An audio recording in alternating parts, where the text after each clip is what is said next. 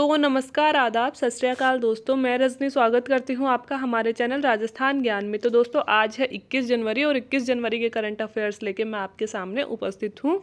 तो बिना देरी किए शुरू करते हैं आज के करंट अफेयर्स।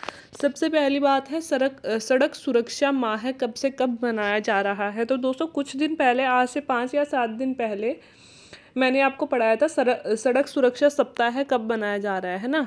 तो उस उस दिन हमने पढ़ा था सप्ताह, है ना? वो अठारह जनवरी से शुरू हो रहा था और एक सप्ताह तक मनाया जाना था। लेकिन हमारे देश में दुर्घटनाओं, जो सड़क दुर्घटनाएँ होती हैं, उनके प्रति अधिक जागरूकता लाने के लिए जो हमारे ट्रांसपोर्ट मिनिस्ट्री है, उसने अब सप्ताह को बढ़ाकर सड़क सड़क सुरक्षा माह कर दिया है।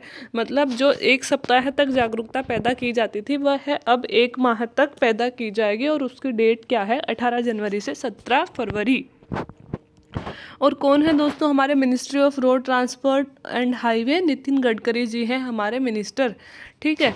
और रोड एक्सीडेंट में हमारे, उस दिन भी मैंने एक डेटा आपको बताया था, लगभग डेढ़ लाख लोगों की मृत्यु होती है प्रतिवर्ष और लगभग साढ़े चार लाख लोग घायल हो जाते हैं हमारे सड़क दुर्घटनाओं में, ठीक है? तो थोड़ा सा डेटा आप याद रख लीजिएगा, कई बार कोटेशंस में पूछ लिया जाता है।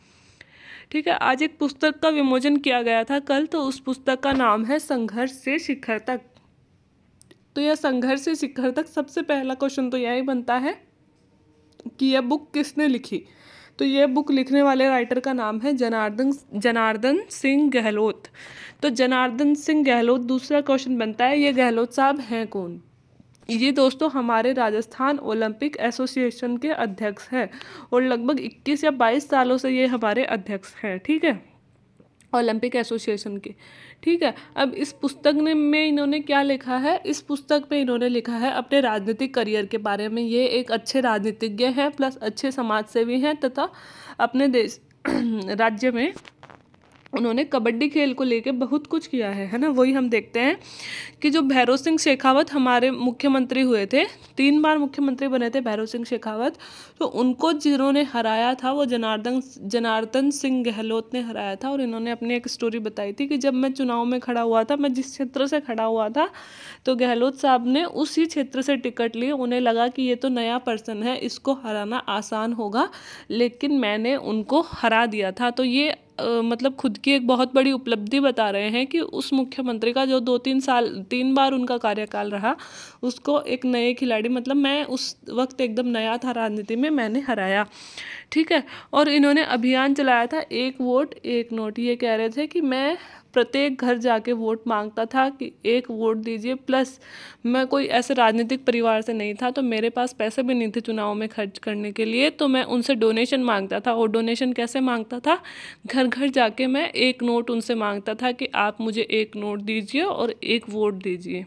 ऐसे इन्होंने अपनी स्टोरी बताई और ऐसी स्टोरियाँ इन्होंने अपने बुक में लिखी हैं, संघर्ष से शिखर तक, ठीक है? इसके अलावा इन्होंने क्या किया है? इसके अलावा इन्होंने एशियाड खेलों में कबड्डी को शामिल करवाया है। दोस्तों, कबड्डी हमारे राजस्थान का एक गेम है।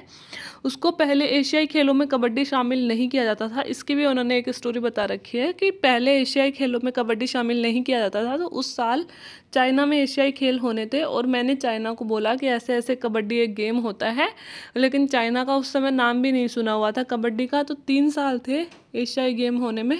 तो तीन सालों में मैंने मतलब चाइना से कुछ खिलाड़ी बुलाए और उनको कबड्डी खेलना ऐसे ऐसे सिखाया। और सारे रूल्स वगैरह समझा दिए तो तीन सालों के अंदर चाइना वाले अच्छी कबड्डी खेलना सीख गए और उसके बाद में कबड्डी को एशियाई खेलों में एक खेल के रूप में शामिल कर लिया गया। तो एक महानतम उपलब्धि ये हो गई। इनको कबड्डी किंग के रूप में भी जाना जाता है दोस्तों, है ना? क्योंकि कबड्डी के क्षेत्र में इन्होंने उत्कृष्ट योगदान दिया था। उन्नीस में उन्होंने कबड्डी लीग की स्थापना भी करी थी। लगभग इकतीस देशों तक, विश्व के इकतीस देशों तक इन्होंने कबड्डी को पहुँचाया और हमारी जो प्रो कबड्डी लीग है, जैसे कि पिंक पैंथर है हमारी जयपुर की ऐसे ही इन्होंने प्रो कबड्डी लीग की स्थापना करना सबसे बड़ा योगदान इनको माना जाता है, क्योंकि क्रिकेट के बाद में अब आईपीएल जो होते हैं, उनमें कबड्डी सबसे ज़्यादा लोकप्रिय हो रहा है। तो ये बहुत बड़ी उपलब्धि है दोस्तों। और अभी ये क्या कर रहे हैं? अभी ये कबड्डी को ओलंपिक गेम्स में शामिल करवाने के लिए प्रयासरत हैं और वर्तमान में हमारे राजस्थान ओलंपिक संघ के सदस्य भी हैं। तो इनकी कहानियों से आपको ये तो पता ही चल गया होगा कि महानतम पर्सनैलिटी हैं, बहुत ही अच्छे पर्सन हैं अच्छा अच्छा योगदान दिया है हमारे राजस्थान में। तो इसलिए इनकी बुक का नाम हमें याद होना चाहिए। ऐसे ही फ़ेमस पर्सनस की बुक हमसे एग्ज़ाम्स में पूछी जाती है, ठीक है? तो इतनी सब कहानी सुनने के बाद में तो आप नहीं भूलोगे शायद इस बात को, ठीक है? राजपथ पर फ्लाई पोस्ट करने वाली पहली महिला कौन बनने वाली है? ट्वेंटी सिक्स जैन को हम जो गणतंत्र दिवस मना रहे हैं दोस्तों, उसमें फ्लाई पोस्ट का क्या मतलब होता है? जो प्लेन अपने कर्तव्य नहीं दिखाते हैं।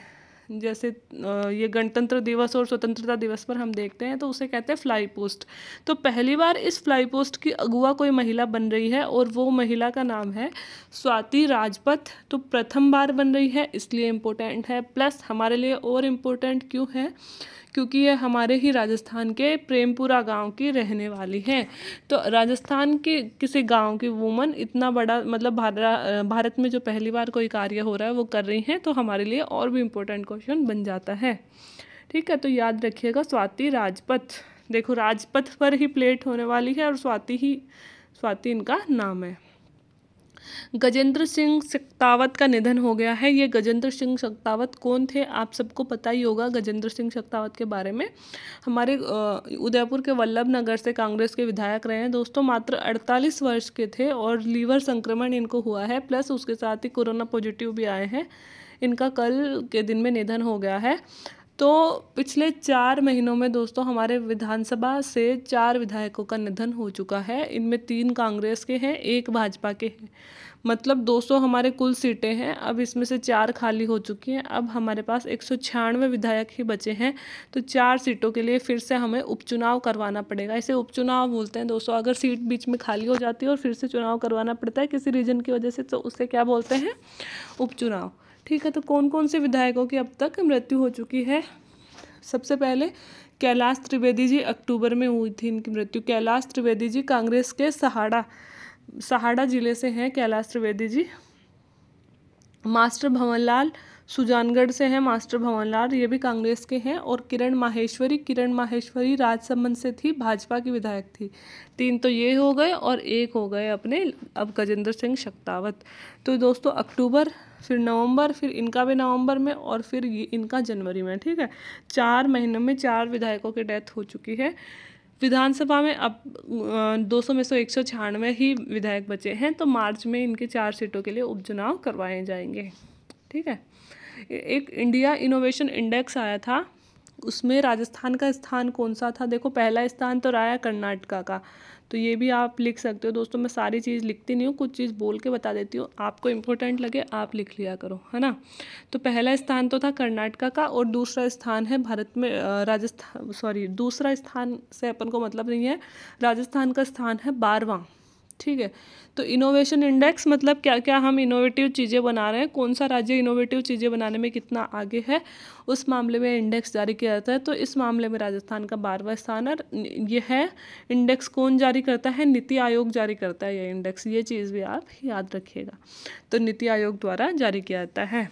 अमेरिकी इतिहास में सेकंड जेंटलमैन का उपनाम पाने वाले पहले व्यक्ति कौन है?